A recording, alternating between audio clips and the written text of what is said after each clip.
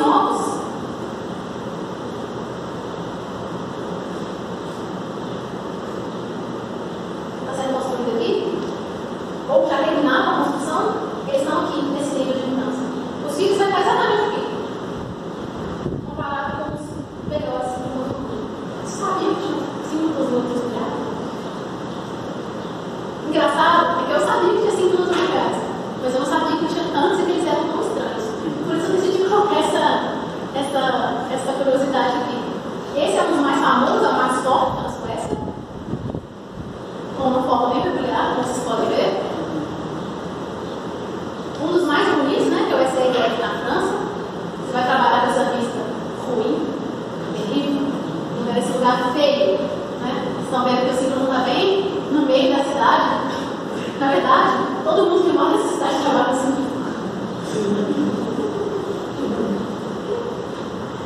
É, esse símbolo da Austrália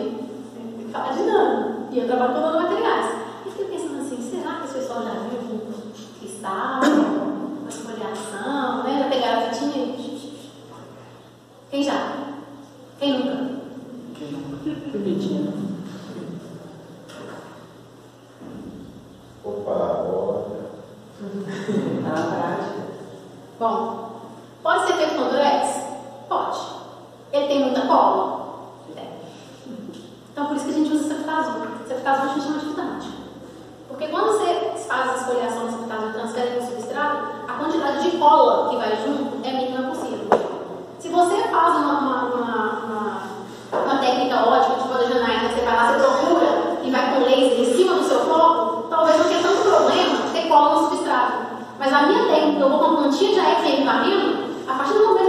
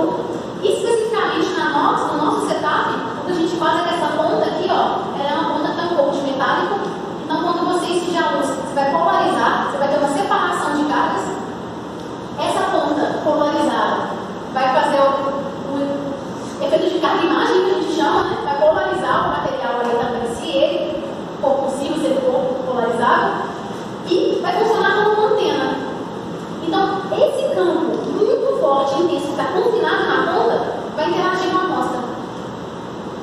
E quando a gente faz isso, a gente faz o que a gente chama de quebrar o limite de tração.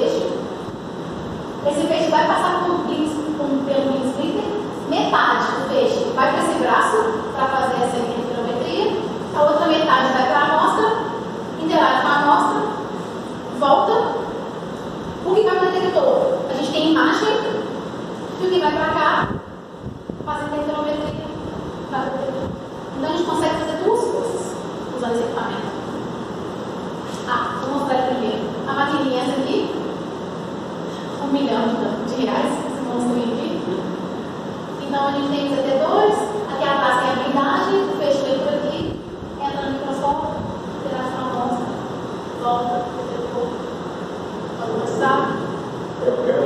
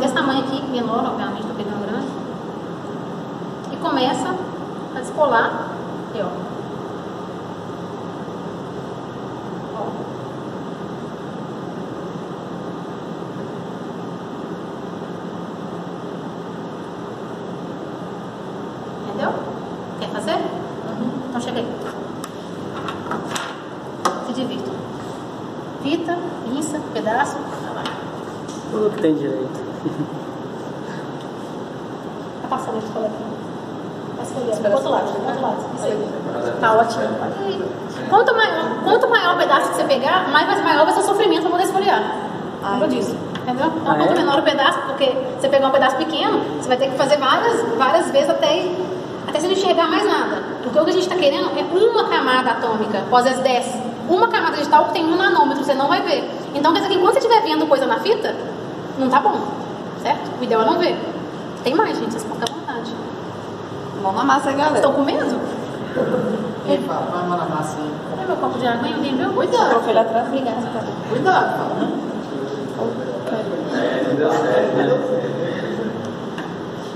Pode fazer isso até infinito, né, amigo? É. O céu é o limite. Pode vir cá, gente. Tem muita fita, tem muito sal. Porque é do barato. Do barato eu posso. Deixa eu pegar.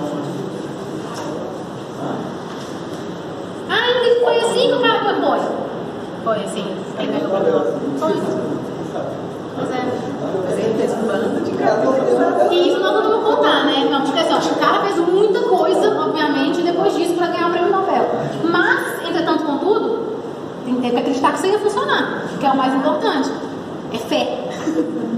E trabalho. E fé. E trabalho. Que a gente chama lá de malacaxeta. Então, vou falar um pouco disso depois que vocês folhearem aí. Sobre outras pedras. Outras. Uhum. Malacaxeta, a gente pega lá, passa, passa no braço, dá pra ver depois. Eu sou a louca, eu mandei e-mail para todos os geólogos que eu conheci, procurando novas pedras. Se você quebrar o imã no meio, A gente pode vamos é cheio dela. Amigo, vamos trocar o e-mail. Eu sim. Quem mais? Bora, gente. Ó, Quando a cola acaba, não, não dá pra esconder mais? é assim, se não tiver mais cola, ela não cola nela mesma, né? Porque a interação dele com ele é muito fraca. Então você só consegue escolher onde tem cola. Depois que acabou a cola, acabou a. Quando eu fita, não, vai ser demais. Mesmo. Perceber. Enquanto eu tiver fita aqui, vazia, sem foco, eu não vou, vocês não vão voltar a continuar. Não, não. Eu ve- vejo fita vazia. Eu fui professora, né? Eu tenho boas, boas táticas de ameaçar os alunos quando as pessoas. Eu sou. Você. Mas o, o, o grafeno, ele, ele é mais... Vai perder a chance na sua vida, vai que. Então, é, tinha que ver, né? Ô Ingrid, você já mediu dose de baixa frequência nesse mais. Eu acabei de submeter uma proposta para a LS para tentar vigilar no infravermelho, porque. Eu já. Você lembra? Aquela vez que eu procurando louco, porque era isso que eu queria fazer. É? Era, você tava tudo coitado, né? Você que é a Cris, eu sei você como é que é. Eu sei que é. Mas eu publiquei esse SS contando que a gente acabou de publicar, falando de modo de vibração e tal. O analista falou pra gente, não tem tira de grupo não. A gente não é capaz de fazer, a gente não é capaz de fazer. Você é capaz de fazer, nós não somos capazes de fazer. Ué, pois é, que olhar isso. Achei interessante o sistema bíblico, bem bacana. E eu vou te mostrar que a assinatura espectral, vou mostrar daqui a pouco, muda o número de camadas. Muda drasticamente. Então, assim, com certeza. Só que eu não sou capaz de fazer Tem muito né? Tem. A célula unitária, a célula unitária é uma loucura. O ideal é ficar bem... Bem, bem clarinho isso. Coloca isso aqui, uma solução. Aí você põe no substrato. Posso pegar esse pé? Claro. Vai dar mais certo. Não, não gasto com nada. Ah, mas ainda mais que tá gravando. Tá precisando. Faz assim, faz assim. É, mas a malacaxeta eu acho esse vermelho, essa é bem mais fina, bem E ela é mais planinha, um pouquinho maior. assim. É bem... Eu achava que era Samara, mas isso aqui. Alta tecnologia, né? Só que eu acho que ela, a malacaxeta deve ser mais. E depois, gente? Aqui, ó. Quem não fez ainda? Tô vendo dois negócios mais, três negócios mais aqui, ó. Opa, você que teórico Quem não fez ainda? Cadê os teóricos do grupo? Não, vamos se mexer. Mais algum? Eu tinha o professor e depois um continuador, ele fala que ele é teórico. Mais algum teórico aí? Alguém que não fez?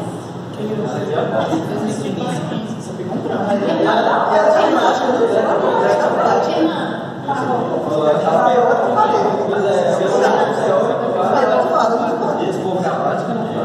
Vai. Depois, depois vai acabar trabalhando assim comigo, mas vai todo mundo botar para estudar, vai falar que não sabe. É difícil. Depois a gente se identificar com as Se for pegar pra gente entender. Não, mas eu descobri que eu tô brincando, mas a gente fala tanto. Mas eu descobri que essa fita, a azul, ela é usada em impressora também, mas só com o ouro dela é bem mais barato, porque eles usam pra fazer alguma coisa em impressora, não é que você pra embalar, enfim. E Ah, é? Por um quinto do valor dessa aí que a gente comprou aqui. É a mesma fita. Vida de impressora, então. Na realidade, ela vem segurando muito pouco a impressora, né? Porque aquela impressora. Eu já vi essa fita aqui. A geladeira também Embalado. A colaboração deve ter uns dois anos. Tem algumas coisas Na verdade, eu jogo os computadores francês na mão dele e fica só faz. Isso aqui, ó, pô, aqui tem que estar fininho, é o seu. Não, mas Mas agora, acabou o seu? Acabou. Mas o meu acabou. esse negócio não dá certo, não. É, mas o seu- Eles o seu é bom, ficam, né? ó, Porra, eles não ficam, sabe, né? Por que que deu esse Aí daí? manda um vídeo, né? Vou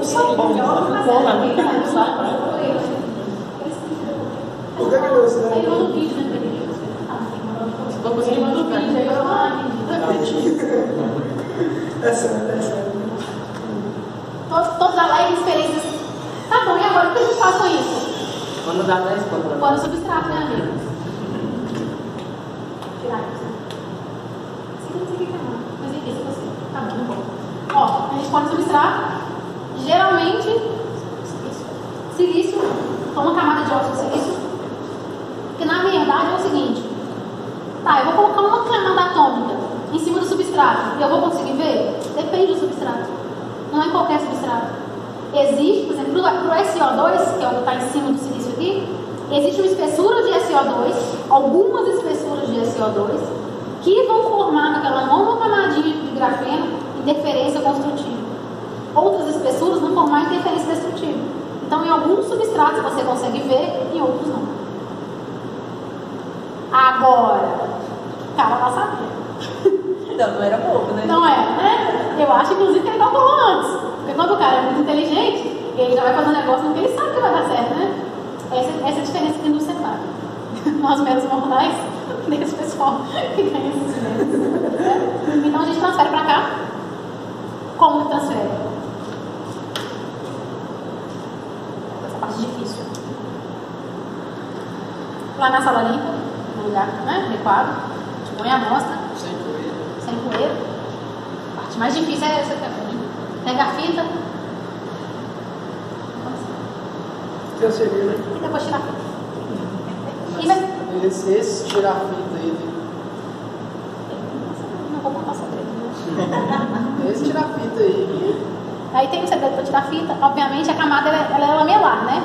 Então o ideal, se você puxar a fita para cima, você não vai deslocar as camadas, né? Então o ideal é que você puxe a fita assim para que as camadas vão se deslize e a probabilidade de você ter poucas camadas é muito menor, muito maior do que o contrário. Mas enfim, vou fazer de qualquer jeito.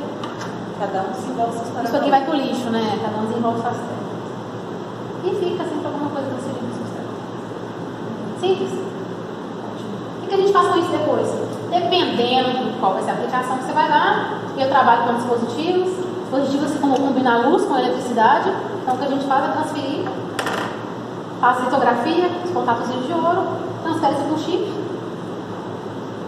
Igual a esse. Vem com os contatos de ouro, faz, pega os fiozinhos, faz a solda, a conexão, pluga isso aqui e você consegue passar corrente elétrica. E esse chip vai dentro do meu equipamento. Então eu faço medida ótica e elétrica ao mesmo tempo. Esse é o, o estado da arte, é o melhor que a gente tem feito hoje nesse equipamento. Então, quiserem pegar, Tão fácil quando tem vaga. é mais fácil quando não tem vaga, realmente. Bem mais fácil. Então, se vocês quiserem ver, pegar, fica à vontade nesse momento, pode levar as de lembrança para casa. Eu vou mostrar o que a gente faz com o tal.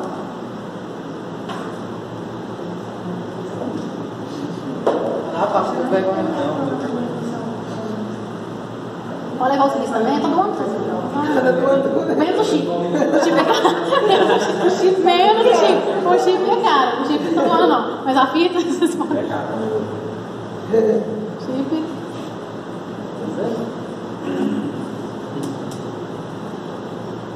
Igual o talco, gente. Tem um monte de minerais. Muito parecido com ele. Hoje está em Minas Gerais, né? Eu estou estudando uma, uma pedra agora que chama gipsita. Muito parecido com essa. Tem N propriedades ópticas muito legais. Tem uma que chama lisita. Não são estranhos. Tem uma que eu pedi para um geólogo também, que é muito parecida com essa aqui, mas a cadeia é muito maior, então você tem mais modos de vibração. É uma mina de ouro, né? E se você provar que as propriedades são melhores do que esses sintéticos que eles estão vendendo por aí, um dispositivo, um chip, que iria custar, sei lá, 100 dólares, passa a custar um, porque isso aqui é o quê? 500 vezes mais barato do que o outro. Então a gente está caminhando para esses, esses cristais. O talco, a cor dele está relacionada com as impurezas. Então o nosso talco, ele é dessa cor, porque aqui ele, é, ele, é, as impurezas dele é ferro e alumínio, porque nós somos indígenas, né? Na China existe o talco negro. Então eles vão fazer bastante trabalho com talco negro, porque lá o dopante é outro. Então, quanto mais branca a pedra, mais pura. Na Itália também tem uns talcos laranja, não sei o que tem, trouxe um pedaço, quando eu estiver dentro, eu vou ver o que, que acontece. Então, essa pedra é bem característica de Minas mesmo. Nossa. E a gente está fazendo pesquisa com isso. Beleza. Então, vamos, vamos lá que eu vou mostrar para vocês aqui. Esse vídeo é pouco que. Só